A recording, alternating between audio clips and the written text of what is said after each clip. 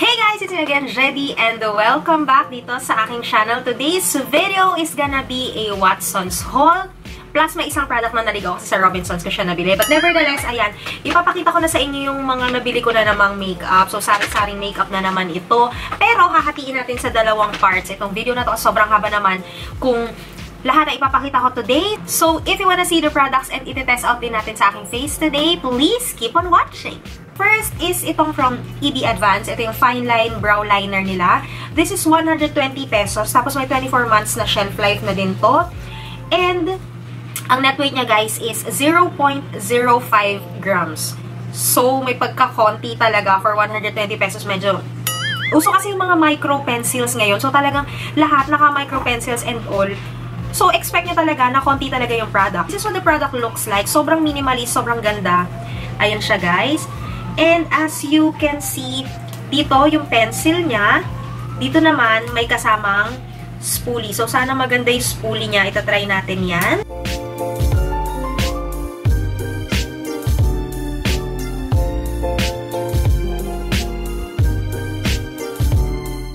Okay guys, so na-apply ko na si Lily or si EB Advance Fine Line Brow Liner sa aking kilay and na-impress ako sa likod kasi ng kamay ko kanina, medyo may tagging effect siya or medyo hindi siya ganun ka-creamy. Well, probably kasi yun yung first step ng product and most of the time, parang matigas talaga yung dulo. Pero nung na-warm na siya and na-i-apply ko na siya sa kilay ko, na-impress ako, sobrang sakto yung pagka-creamy niya. And yung tigas ng product, parang hybrid ng creamy and matigas ang pencil. So, sa, talagang sakto lang for me. And nagustuhan ko siya.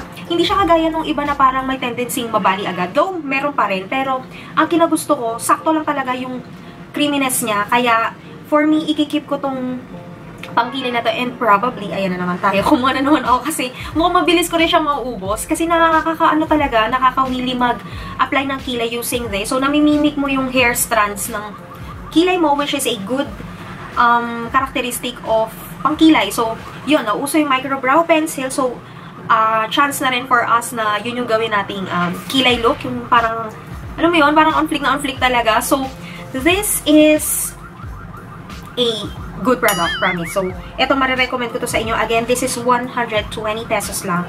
Ayan, may kakuntian nga lang. So, for sure, mauubos na siya agad. So, next product that I am going to show you, ayan, mga blushes naman. So, simulan natin dito sa Careline na product.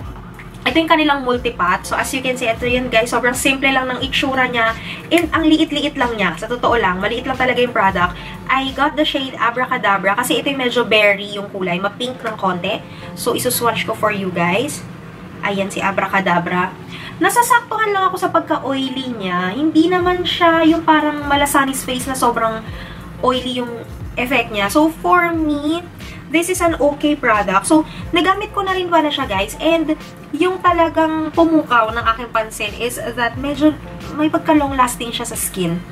And, mind you, guys, wala akong base nun. Walang foundation and all. So, nilagay ko lang siya sa cheeks ko. Medyo oily-oily ako. Pero, hindi siya totally nawala and all. So, ayan. Ito si Abracadabra, guys. So, marirecommend ko to sa inyo kasi may dalawa pang shade to eh. Meron parang ano ba yung ma-orange, tas merong sobrang red naman. So, ito yung kinuha ko in between para magamit din siya sa lips. So, next product na ipapakita ko sa inyo, guys, is from Chihuahua Cosmetics. So, hindi lahat uh, ng mall may Chihuahua Cosmetics. So, meron lang sa Eastwood, And hindi ko na maalala kung saan pa. Kubaw yata, ewan ko. But this is a very nice blush. So, hindi ko pa rin siya totally nagagamit. Na-swatch ko lang talaga siya. And na-impress ako kasi pwede siyang dupe for Nurse Orgasm. This is in the shade Salmon or, or Salmon, ganyan. So, Ayan siya. And isa-swatch ko sa inyo yung blush. Ayan. Doblehin natin para makita nyo talaga. Ito siya guys. So may specs siya ng mga gold-gold. Ganyan. May specs ng gold. And this reminds me of um, Nurse Orgasm nga. So ito yung gamitin natin as my blush for today's look. Ayan. So pansin nyo, ayan na. Oh, nagbibigay na siya ng konting highlight. Kasi meron nga siyang speck of gold. Specks of gold. Ayan. By the way, this is 259 pesos. Meron siyang 3.6 grams. Si Chihuahua Cosmetics kasi kilala siya doon sa mga mini sizes na na makeup. So, parang yung mga aso na Chihuahua. Diba? Sobrang cute na size nila. So, ayan. But what I like about this product is that ito, as you can see, may mirror. And kapag nahawakan nyo yung packaging, guys, sobrang tibay ng feel. As in, kung maririnig nyo, hindi siya yung parang marupok na packaging. So, yun yung kinagusto ko. Talagang nag-step up sila sa packaging. Even yung kanilang ganito na foundation, powder foundation, ang ganda din ng feels pag hinawakan mo talaga. So, this is a good product kapag gusto nyo yung pang travel-travel lang ng mga makeup kasi ang liliit talaga niya. So, ilili ko na lang sa description box guys yung website ni Chihuahua Cosmetics para kung gusto nyo mag-try ng mga blushes nila and all. But next naman, ito yung sinasabi ko guys, from Robinsons. This is exclusive lang for Robinsons. Ayan. So, isinama ko na rin, pasensya na if this is a Watson's Haul. Pero isama na rin natin siya. Ayan. This is the Blush to Go EB Collection. Na, babanggit ko na to sa iba kong videos and even sa Instagram ko na post ko na yata siya. But, hindi ko siya na-swatch. Yata. Naaalala ko ng tama. Hindi ko pa siya na-swatch sa inyo ng bonggang-bongga. Ayan. So, ito naman yung color niya, guys. Universally flattering din yung color niya as per ever bilhin na kasi isang shade lang yung ginawa nila for this collection. So, for me, okay na okay yung product. Bakit? Kasi una, very affordable. This is 179 pesos lang. Sobrang laki niya. Look at the multipot versus ito. Talagang ang laki nito. Meron tong 8 grams of product. And bihira ako makakita ng blush na ganun kadami. Pero yung downside kasi dun guys is that hindi to powder. This is a cream blush and ang tendency talaga ng cream blushes is that madali yun maubos. Mas, mas ano siya, mas feeling ko lang nga mas madali siyang nakukutkot or nakukuha ng finger. So, ang tendency, mas marami ka rin nagagamit sa face mo. So, for me, this is a good product. Ang ganda talaga ng kulay niya. And I'm afraid, dahil limited edition, nagkakaubusan na to, and hindi na nila to i-restock. Feeling ko. So, mahirap na. So, for you guys na nagustuhan yung color, kumuha na kayo agad. This is 179 lang naman. And good for 12 months. So, paraben, paraben free and cruelty free na rin. So, This is a good product. Ngayon naman guys, yun na, tatlong, uh, tatlong blush yung napakita ko sa inyo. Punta naman tayo sa mga highlighters. So, eto bagong product din to ni Careline. This is the Diamond Dream Highlighter. Nagkakahalaga naman to ng 135 pesos. So, ang dami na talagang affordable highlighters ngayon. Kaya lang hindi ko sure kung maganda ba to. Swatch natin siya. Ang shade na kinuha ko ay Glazed Glory. Ito yung medyo ma-pink yung kulay. So, tingnan natin. Oy, pwede. Ito siya guys, and napapansin ba sa cam? Ayan. And let's see if okay ba siya. So, ayan siya guys. In fairness, sobrang blinding naman pala talaga. Yung texture lang, parang nalalakihan lang ako sa ano niya. Sa specs niya and all. Pero, ayan siya guys, kapag na-apply na sa skin and kapag tinamaan na ng ilaw, sobrang blinding niya. So, For 135 pesos, 2.5 grams and 24 months yung shelf life niya. Pwede na to for beginners kasi ayan o, sobrang blinding niya. And at the same time, sobrang affordable. Next product na ipapakita ko sa inyo guys ay from Elana. This is the Iridescent White to Gold Satin Finish Multipurpose Loose Powder. So, ang haba ng pangalan niya. But for me, technically, this is a highlighter or yun nga, yung mga pigment nila na medyo ma-shimmer-shimmer. Marami kasi silang ganun. So, kinuha ko to. This is in the shade Sensational. And as you can see, ayan, hindi ko pa siya na swatch ever. Naintriga kasi ako, ang daming pumupuri dito sa highlighter na to. So, sabi ko, sige, let's give it a try. Ang ganda ng kulay. May pagka-gold nga siya, white to gold, parang ganun. So, iswatch muna natin sa likod ng aking kamay para makita nyo yung kanyang effect. Hala, grabe. Look at that. So, talo agad si Caroline sa kanya pagdating sa sa blinding effect. And kahit i-blend out natin siya, ayan o, nakikita nyo pa rin. Sobrang, ang classy, ang classy ng pagka-highlight niya. Ayan o. So, let's try.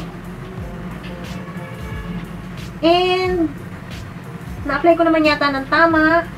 And eto siya, guys. Sobrang blinding din. So, this is a highlighter day talaga. Ayan. Ang ganda. Totally different sila ni ni Careline kasi ito more on ma-pink.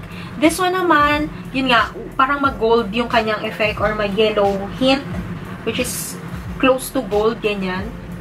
And as you can see, ayan, ang social ng dating for me ha. Again, this is from Elana. Shade niya sensational and marirecommend ko for those na naghahanap ng powder pigments, especially ano tayo, mineral base, I think, itong mga products ni Elana and perfect siya for those na merong mga sensitive skin. So, again, ayan, marirecommend ko to guys. And, nagustuhan ko siya. Next product na ipapakita ko sa inyo guys ay galing sa Robinson. So, again, this is from the limited edition kasama tong blush to go. This is the Match Color Stick. Ayan. So, exclusive lang to for Robinsons, guys. And, isuswatch ko sa inyo itong shade na nakuha ko. Itong So Shy. Feeling ko kasi ito na yung pinakabagay sa, sa skin tone ko. Ayan. So, i-blend ko siya kasi medyo patchy siya. And, ito yung kulay niya. Kita nyo ba? Ayan no, parang ma-pink na ma-brown ng konti. Ayan. Pero maganda. Maganda rin siya kasi ang kinagusto ko naman dito is that hindi siya sobrang blinding. Perfect lang siya kung gusto mo yung parang mm, ano ba, parang dewy effect lang, ganyan. Hindi yung talagang kagaya nito ni Elana and itong si Diamond Trim na talaga namang pasabog talaga yung highlight niya. This one, perfect lang talaga for those na gusto yung mild lang talaga na highlighter. And you can get this for 149 pesos. Meron na siyang 5 grams. So, para siyang yung mga strobe stick ni, F ni Careline. Pero yon wapak din talaga yung kulay nun, guys. So, be careful. Pero dito, yan, uh, kahit marami yung malagay mo, hindi siya yung parang nagmukha kang mamantika yung face mo and all. So, maganda rin yung product, guys. And, ano ba, may 24 months naman yung shelf life niya. So, this is a good product din for me. So, that's it guys for the first part ng ating makeup haul. So, majority naman dito nakuha ko siya sa Watsons and some naman ay sa Robinsons. Ayan, so, hopefully nagustuhan nyo yung video natin na ito. And for those na naghahanap ng bagong pangkilay, highlighter and blush, ayan, sana nagka-idea kayo kung ano pa yung mga pwede nyong itry bukod dun sa mga common na meron na tayo. So, happy ako sa mga na-purchase ko and for sure magagamit ko siya for future video. So, yun lang guys. Thank you so much for watching. Don't forget to subscribe dito sa aking channel. Huwag niyo kalimutang panoorin yung susunod na video natin dito kasi yun yung, yung part 2 nitong ating um, makeup haul. And yun, mostly talaga doon ay uh, siguro 90% Watsons na talaga natin nabili. So, yun lang guys. Thank you and I'll see you on my next one. Bye!